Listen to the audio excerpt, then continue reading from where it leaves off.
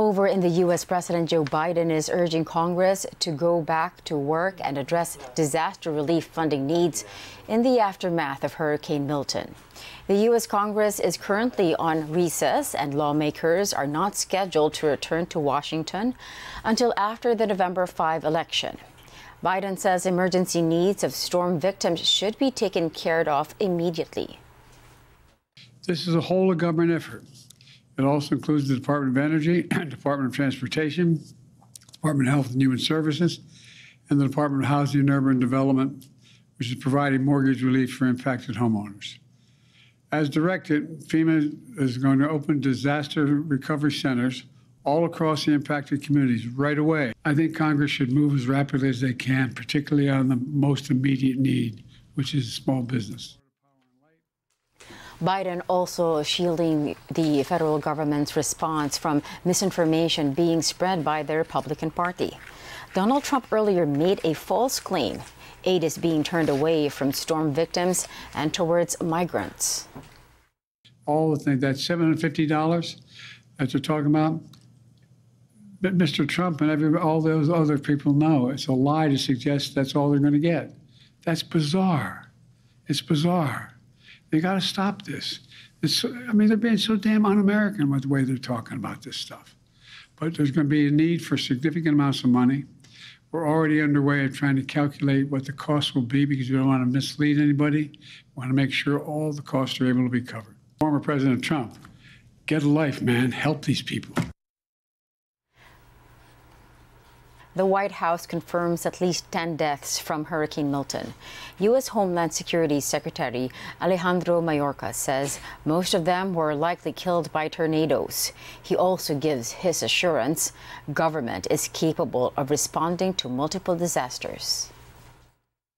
It is imperative that everyone continues to follow the direction of local officials. Milton may have passed, but the danger it poses has not downed power lines, flood waters, non-potable drinking water, and debris are creating deadly conditions. But I want to be clear.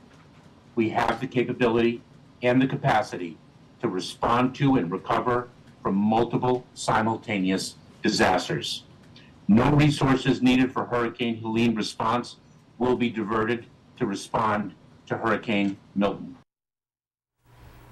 Filipino Americans were among those affected by Hurricane Milton. ABS-CBN's North America Bureau is keeping tabs on their situation.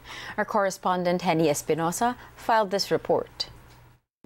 Hey guys, here are news making headlines for Filipinos in North America.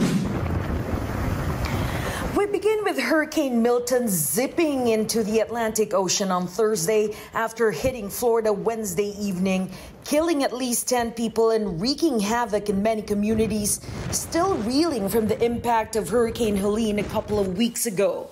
Some 3.4 million people lost power as of Thursday afternoon, on top of the 700,000 that were restored since the storm. Milton made landfall as a Category 3 storm near Siesta Key, a barrier island next to Sarasota, with winds in excess of 100 miles per hour. Uh, the storm did bring much destruction and damage. Tornadoes ravaged parts of the east coast of the state. Flooding occurred on the west and east coast, and strong winds lashed the state, especially in Pinellas, Hillsborough, Manatee, and Sarasota counties. DeSantis says while the storm was significant, it was not the worst case scenario. Yeah, the storm did weaken before landfall, and the storm surge, as initially reported, has not been as significant overall as what was observed for Hurricane Helene. Still, Milton's wrath could be felt across the state. Some 11 million people are at risk of flash and river flooding. Search and rescue operations by more than 1,400 teams are ongoing. Because of Hurricane Milton, over 5.5 million people were urged to leave Florida's western coast in one of the largest evacuations in state history. More than 80,000 people had stayed in shelters, but some Philams living in areas where the eye of the storm was decided to shelter in place. It felt like the house was going to take off, and the noises were uh, like something out of a horror movie. Um, it was a mashup of Twister and then The Conjuring, in my opinion. It was a total nightmare. Flores says Milton struck down trees and damaged some houses in the neighborhood. Um, I'd say it's minor damage in my immediate area, um, but it's hard to really assess because we're advised not to go out except around our homes.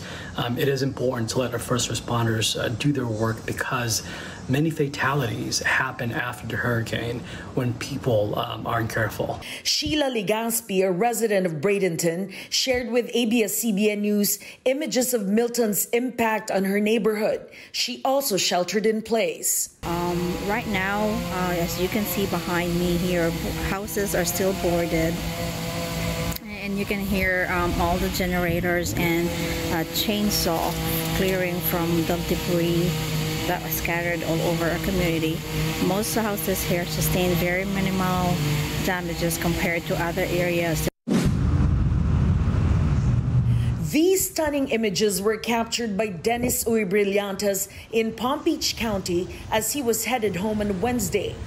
I see this big funnel spinning and almost like dancing. Uh, I pulled over, watched it. It was uh, very uh, mesmerizing and scary at the same time. Brillante says it was the first time he saw a tornado that close. It was getting bigger and bigger, and I realized that it was getting closer and closer. And um, at that time, a, a cop pulled behind me and told me to move. So I did move and realized that it was headed actually to uh, where where we live. Brillantes raced home and was relieved his wife and son and their home were safe. On Wednesday, when Milton struck, there were 38 tornado reports with over 125 issued tornado warnings across Florida, the most tornado warnings ever in a single day for the Sunshine State. Some tornadoes were supercharged, such as the ones in St. Lucie County, where five people were killed. And those are the news making headlines today. You can catch more TFC news on the ABS-CBN News website, YouTube channel, and app. I'm Henni Espinosa. Back to you guys at the rundown. Now to the crisis in the Middle East. At least 18 people are killed and 90 and more than 90 others injured in the latest Israeli strikes on Beirut. A Lebanese security source says at least one senior Hezbollah figure was targeted in the attacks, whose identity remains unclear. The neighborhood was not previously hit by Israel and is well removed from Beirut's southern suburbs, the headquarters of the Iran backed group. Earlier in the day, Israel warned Lebanese civilians not to return to homes in the south to avoid being caught in the crossfire. UN peacekeepers determined to remain in their posts in southern Lebanon despite orders by Israel's advancing military to leave. Israeli attacks on Wednesday and Thursday injured two members of the peacekeeping force and knocked out some of their monitoring capabilities. Israel said its troops operated near a UNIFIL base, but it had instructed the UN forces in the area to remain in protected spaces before opening fire. The UN peacekeeping chief says the security and safety of their peacekeepers in Lebanon are increasingly in jeopardy, and operational activities have virtually come to a halt. Peacekeepers have been confined to their bases with significant periods of time in shelter. This severe impediment to the mission's freedom of movement within the area of operation has limited the mission's monitoring and reporting ability. The security environment has also presented challenges for the resupply of fuel, food, and water for UN positions. The deconfliction of UNIFIL logistics movements remains paramount. UNIFIL is mandated by a Security Council resolution to help the Lebanese army keep the country's south free of weapons and armed personnel other than those of the state. A South Korean author wins the Nobel Prize in Literature for the first time.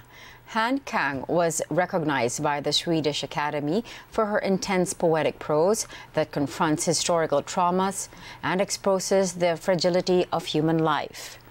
Han began her career in 1993 with the publication of a number of poems in the magazine Literature and Society, while her prose debut came in 1995 with the short story collection Love of Yeosu. Her major international breakthrough came with the novel The Vegetarian which was turned into a movie in, in 2009 and translated into English in 2016. Netflix offers fans the chance to buy an array of memorabilia from its shows in a pop-up shop opening in two British cities. Approximately titled, appropriately titled rather, as seen on Netflix, on sale are a range of wardrobe pieces and props from hit shows such as The Crown, Bridgerton, Black Mirror, and Sex Education. Prices for some of the items start at just one pound. And it's all for a good cause, as well as proceeds will go to Mind, a British mental health charity. We wanted this to feel like something that all fans can come to, have a look around, have a great experience when they're in here, and then take something home. So it starts at a pound all the way up to um, higher ticket items, but there is something in these stores that you can afford, which was the real goal for this